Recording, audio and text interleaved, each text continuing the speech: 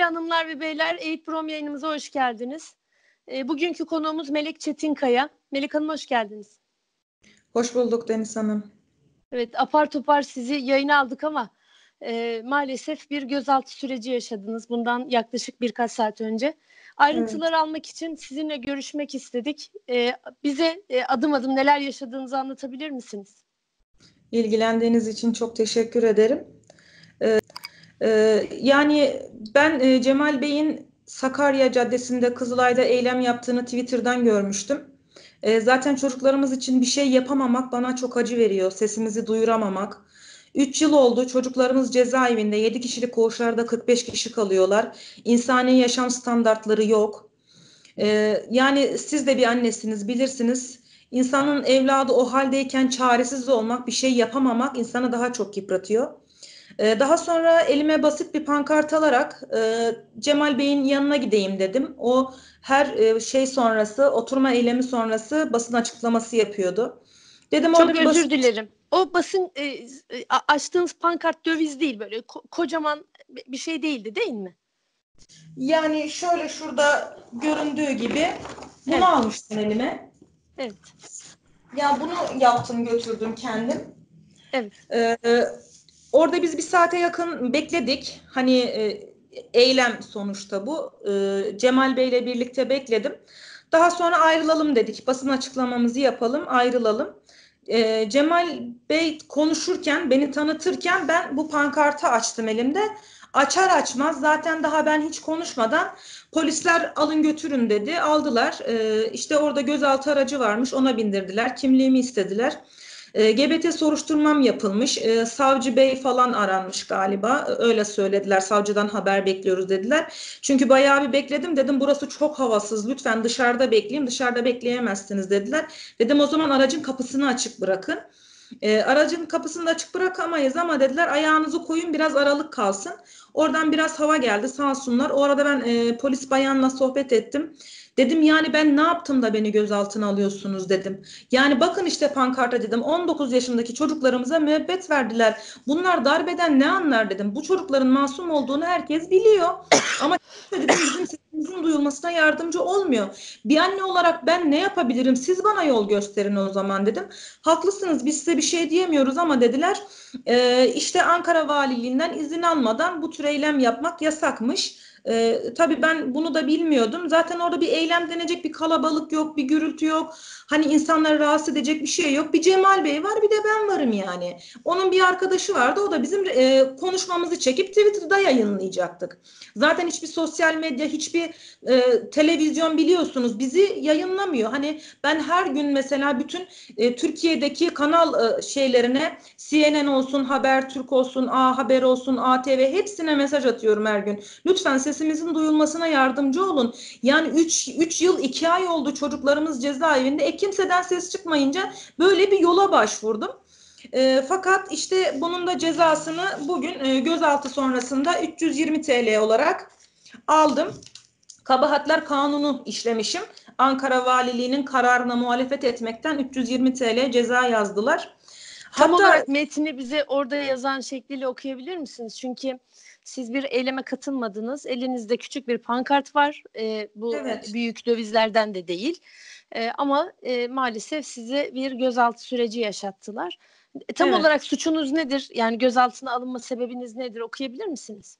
Ankara Valiliği'nin 21.01.2018 gün ve 58 60 41 42 67 38 12 257 19 38 2018 sayılı kararına muhalefet etmek. Buymuş suçum. E, hatta ben e, polis beye dedim ki yani ne yapıyor ne yaptın da dedim dövizimi bile açamadım yani pankartımı konuşamadım bu 320 lira cezayı hak edecek ne yaptım dedim lütfen dedim hani bu cezayı yazmayın bu cezayı yazmak zorundayım dedi. Peki dedim erken ödersen bunun indirimi var mı? Polis güldü. Evet dedi 15 gün içinde öderseniz dedi %20 indirimi var dedi. 15 gün içinde ödeyeyim ki biz devlete hiçbir zaman borçlu kalmadık. Ama devlet bana e, ömrümden şu an 3 yıl 3 yıl 2 ay borçlu. Benim evlatlarıma 3 yıl 2 ay borçlu. Bugüne kadar ne benim eşim vergisinden ne biz herhangi bir faturamızdan yani bizim geçmişimize bakıldığında bir tane ödenmemiş fatura bile bulamazlar. Biz bu kadar vatan millet duygusuyla duygusuna sahip insanlarken 13 yaşındaki evladımızı vatana millete hayırlı insan olsun diye askeriyeye vermişken şu gördüğümüz muameleyi 3 senedir az buçuk sizler bizi takip ediyorsunuz biliyorsunuz. Yani bana bir de şuradan şu güç verdi. Ee, biliyorsunuz günlerdir HDP binasının önünde anneler eylem yapıyorlar, çocuklarını istiyorlar. Dedim ki o annelere sahip çıkılıyorsa bana da sahip çıkılır. Çünkü ben de bir anneyim. Onlar nasıl anneyse, onlar nasıl evlatlarını istiyorlarsa sanatçılar, ondan sonra bakanlar e, onlara destek oluyorlarsa bana da olurlar diye düşündüm. Ama maalesef onların çocuklarını HDP aldığını düşündükleri için onlar HDP'den istiyorlar evlatlarını. Ama benim çocuğumu devlet aldı. Ben çocuğumu 13 yaşında devlete vermiştim. 6 yıl devletin eğitimini aldı. 6 yılın sonunda devlet kendi yetiştirdiği çocuğunu, vatandaşını hain ilan etti ve müebbet vererek dört duvar arasına koydu. Ve ben devletten çocuğumu istiyorum. De, ben devlete borçlu değilim. Devlet bana borçlu. Ben evet. artık bitsin istiyorum. E, maalesef çok e, sıkıntılı günlerden geçiyoruz. E, devletten istenilecek evlatları e, bir algı yönetimiyle e, ve bir püskürtmeyle aslında yani bir emir eri modunda sanatçılar oraya gidip e, oturma eylemi yapıp timsah gözyaşları dökerek istediler o yüzden de sizin sesinize ses olmuyorlar. Bundan sonra ne yapmayı düşünüyorsunuz? Yine e, yani bir valilik izni almanız mümkün mü sizin e, böyle evet, bir ben eylem için? Günü, ben pazartesi günü valiliğe gideceğim. E, valilikten izin isteyeceğim. İzin verir ya da vermez. Ben bunu da Twitter'da paylaşacağım. Sosyal medyada paylaşacağım. Peki valilik bana izin vermezse ben ne yapacağım? Sesimi nasıl duyuracağım? Bunu da bilmiyorum. Ben yetkililerden bana destek olmasını istiyorum. Sanatçılardan destek istiyorum. Lütfen gelin 19 yaşındaki askeri öğrencilere, erlere ses olun. Lütfen artık bu çocuklara yapılan zulüm son bulsun. Ayrıca ben şey de söylemek istiyorum. Orada işte e, yapıldıktan sonra benim GPT soruşturma e, sağ olsun polislerden ben herhangi bir kötü muamele görmedim. E, gayet iyilerdi sağ olsunlar. Beni hastaneye götürdüler. E, adli tıptan rapor almamız gerekiyormuş darp edilip edilmediğime dair. E, zaten darp edilmedim. Hiçbir şekilde kötü muamele görmedim. Oradan raporumuzu aldık çıktık. Ee, bunun dışında da tekrar savcı bey aradılar. Savcı bey de idari işleme gerek yok bırakın demiş. O şekilde bıraktılar. Evime geldim ama hala şoktayım. Ben ne yaptım da polisle böyle bir duruma düştüm. Yani ben hayatımda ilk defa böyle bir şeyle karşılaştım. Zaten e, ekranda da belki Twitter'da da görmüşsünüzdür. Hiç direnmedim beni aldıkları zaman.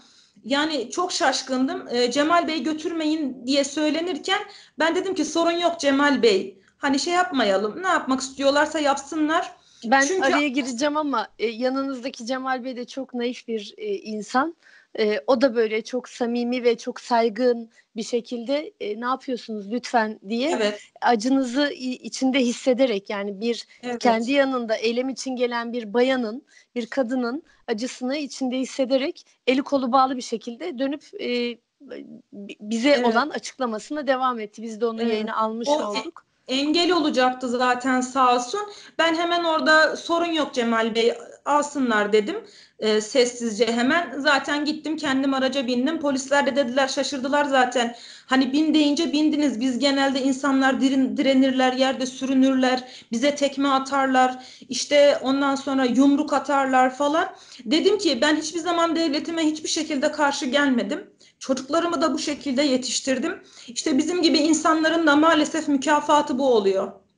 Evet. Biz hiçbir zaman devlete e, ters bir şey yapmadık, yapmayız da. Ama dediğim gibi ben inanıyorum ki bundan sonra inşallah adalet yerini bulacaktır. Bir daha böyle şeyler yapmama gerek kalmayacaktır. Çünkü ben pazartesiden itibaren AK Parti binasının önüne gitmeyi düşünüyorum. Ama tabii öncelikle valilik iznini almayı düşünüyorum. Evet, valilik iznini biz de takip etmiş olacağız. Umarım valilikten izin alır ve sesinizi duyurabilirsiniz. Ama ben bir şart düşmek istiyorum.